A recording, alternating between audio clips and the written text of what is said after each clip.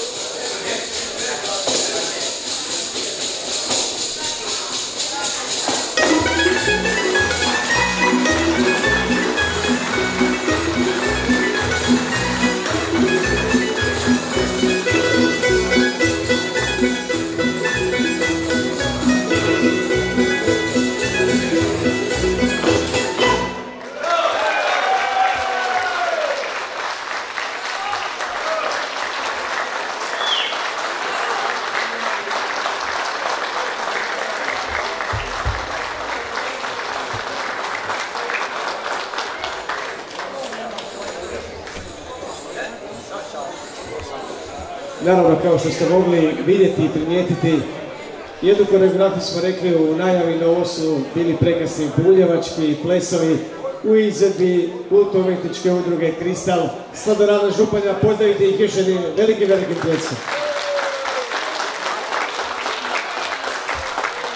Naši sljedeći gosti dolaze nam iz naše metropole, iz glavnog grada, iz Zagreba.